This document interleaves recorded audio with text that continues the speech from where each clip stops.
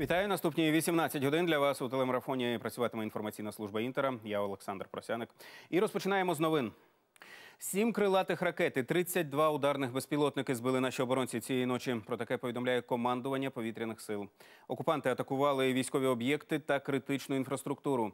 Вісім зенітних керованих ракет С-300, С-400 ворог спрямував на Харківщину. Також випустив 11 крилатих ракет Х-101, Х-555 із літаків стратегічної авіації Ту-95 та 32 шахеди. Ворожий напад відбивали зенітні ракетні підрозділи, мобільні вогневі групи і підрозділи радіоелектронної боротьби Сил оборони. Як зауважив речник повітряних сил Ілля Євлаш, причиною того, що не вдалося збити всі цілі, є дефіцит засобів. Понад 10 повітряних цілей знищили українські вояки у небі над Хмельниччиною. Про таке повідомляє тамтешня обласна військова адміністрація.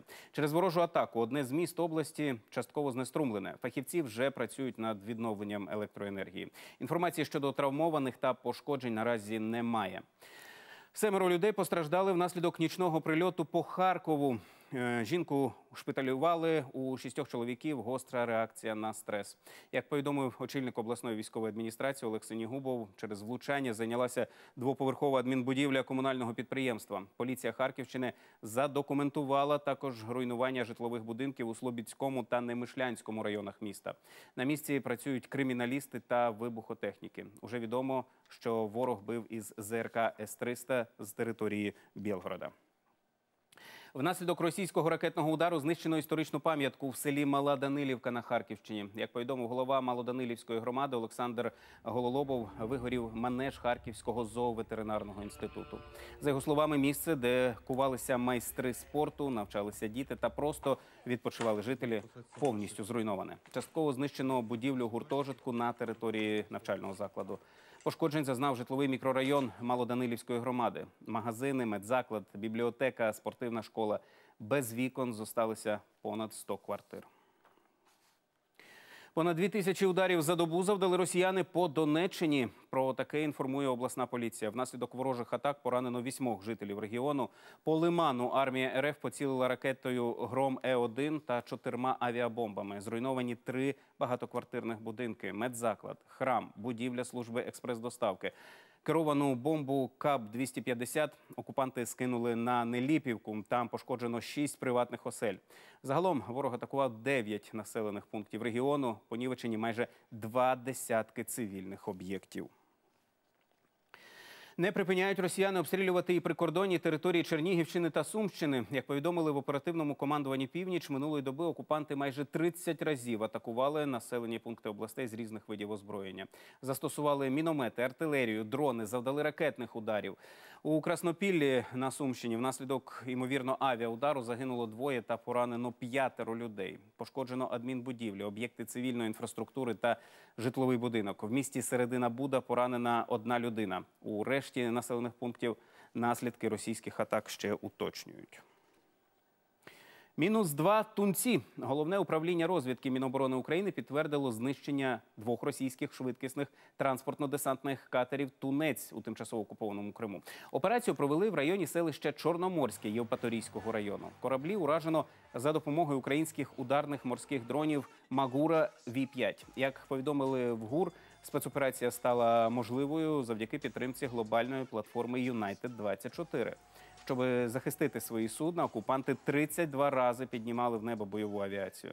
Зокрема, літаки су 27 су 30 су 35 міг 29 Б 12 Ан 26 та гелікоптери К 27 К 29 і Мі 8 та хаотично застосовували стрілецьку зброю і 30-мм гармати. Утім, українські спецпризначенці успішно виконали бойове завдання, зазначили в ГУР. Окупанти і далі нарощують угруповання на напрямку Стрілеча Липці та в районі Вовчанська. Про це у Фейсбуці повідомив головнокомандувач збройних сил Олександр Сирський після того, як відвідав бригади, що тримають оборону на харківському відтинку. Водночас у росіян недостатньо сил для повномасштабного наступу на Харківщині. Вони перекидають додаткові полки та бригади з інших напрямків та полігонів до Вовчанська. Через ефективну оборону українського війська ворог перейшов до тактики ураження наших позицій з артилерії та кабами. Українські захисники завдали серію нищівних ударів по позиціях окупантів на Херсонському напрямку. Відео атаки оприлюднила прес-служба сил спеціальних операцій. На ньому зафільмовано, як оператори 73-го морського центру ССО атакували дронами цивільний будинок, який зайняли росіяни, і облаштували там склад боєприпасів. Тож на кадрах результат успішної роботи. 9 тисяч доларів за фіктивні документи про непридатність до служби. В Одесі затримали організаторку схеми, яка е, допомагала чоловікам ухилитися від служби. За вказану суму правопорушниця виготовляла медичні довідки, висновки лікарських комісій, тимчасові посвідчення військовозобов'язаного, е, якого знято з військового обліку. Затримали фігурантку під час отримання першого траншу 5 тисяч доларів. За результатами обшуків, окрім коштів, вилучили підроблені печатки різних медичних установ та територіальних підрозділів ТЦК, висновки ВЛК, копії паспортів та чорнові записи. Їй повідомлено про підозру за частиною 3 статті 332 Кримінального кодексу України за організацію незаконного переправлення осіб через державний кордон України. Підозрювані може загрожувати до 9 років позбавлення волі.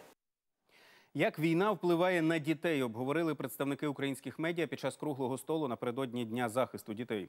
Участь у заході взяли менеджери, продюсери, редактори, журналісти разом із керівництвом Національної ради з телебачення і радіомовлення. Серед іншого йшлося про те, якими мають бути програми для дитячої аудиторії, як можна формувати психологічну стійкість та які особливості сприйняття дітьми медіаконтенту. Також фахівці відзначили, що останнім часом у медіа дитячого контенту українського виробництва більше.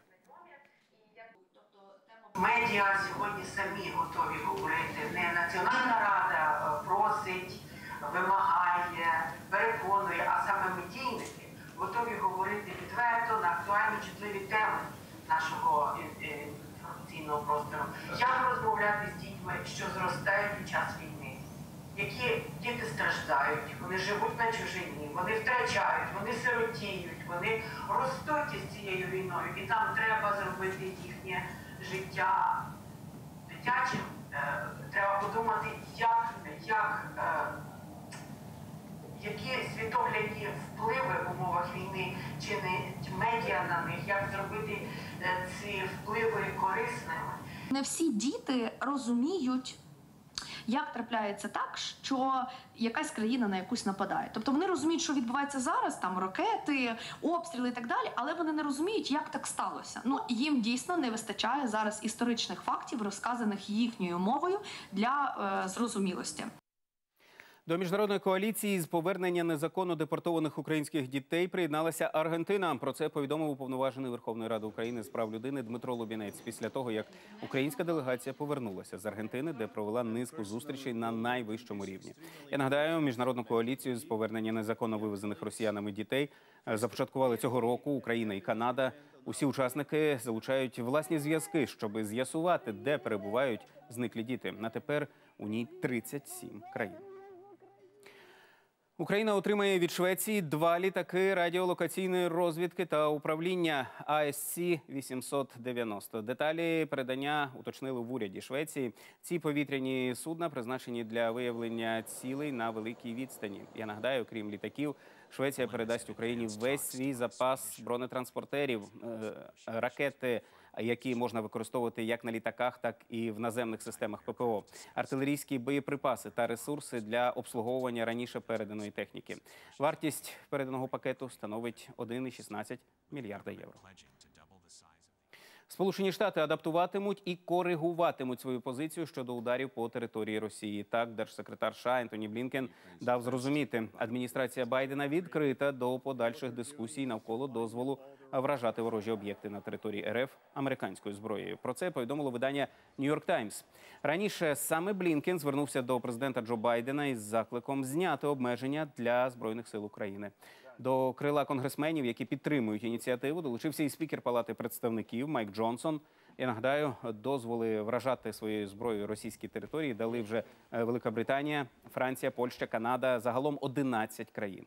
Досі проти е, США, Італія і Німеччина. Заводи із виробництва 155-мм снарядів для України відкрили у штаті Техас. Як повідомило видання York Times, щомісяця там вироблятимуть по 30 тисяч набоїв, а до кінця 2025 року е, вийдуть на показники у 100 тисяч. Таку мету поставив ще торік Пентагон. Головно, щоб забезпечити безперебійні поставки для ЗСУ. На будівництво заводу Вашингтон виділив півмільярда доларів. Уже підрахували підприємство, забезпечить щонайменше 350 робочих місць. Щойно вийде на повну виробничу потужність. На іншому заводі у штаті Пенсильванія вже виготовляють снаряди. Йдеться про 36 тисяч набоїв е, на місяць. Ізраїль контролює Філадельфійський коридор. Про захоплення буферної зони між Газою та Єгиптом повідомили у прес-службі Цахалу. В такий спосіб Ізраїль сподівається перекрити контрабандні підземні тунелі, якими бійці Хамасу нелегально перевозили зброю. Станом на тепер армійці виявили понад 20 ходів і більше як 80 точок доступу. Нагадаю, Філадельфійський коридор це результат мирної угоди 79-го року між Ізраїлем та Єгиптом. На ділянці в 100 метрів завширшки і понад 14 кілометрів завдовжки е, сторонам дозволено розміщувати лише невелику кількість військ або прикордонної охорони. Відколи 2007-го сектор Гази перейшов під повний контроль Хамасу, терористи отримали повну свободу дій на кордоні. Чергова велика пожежа в Москві. Із самого ранку горить складське приміщення машинобудівного заводу в східній частині столиці. Вогонь охопив площу понад 4 тисячі квадратних метрів. Значно ускладнює ситуацію те, що всередині зберігалися ємності із легкозаймистими речовинами. На приборкання полум'я відрядили 120 вогнеборців МНС і 40 одиниць техніки. Е, Згори пожежу гасить авіація. Очевидці підрахували гелікоптер 15 разів скидував воду. Загалом понад 75 тонн, яку набирав у найближчому ставку. Близько сьомої ранку займання локалізували. Пожарные машины стоят. Ну, Вбили просто під час передвиборчого мітингу. Надзвичайна подія сталася в штаті Гереро на південному заході Мексики. Загиблий кандидат у мери одного з міст Хосе Альфредо Кабрера. Чоловік зустрічався з виборцями, коли невідомий підійшов зі спини та поцілив йому в голову. Мережею ширяться відео очевидців, які повідомляють, чули до 15 пострілів. За даними прокуратури, нападника ліквідували на місці. Чому хотів убити політика, наразі невідомо. Під час цієї виборчої кампанії лише у штаті Гереро вбили п'ятьох кандидатів у мери та одного у депутати. Загалом по країні від рук зловмисників загинули 30 політиків. Наступний випуск новин вже о 13-й. І до того часу з вами буде Ірина Баглай. Іро, я передаю ефір у твої руки. Дякую, Олександре. І дійсно ми говоритимемо про те, що Швеція дарує Україні два літаки дальньої радіолокаційної розвідки та управління. Як вони можуть змінити погоду у повітряному просторі України? Дізнаємося цієї години.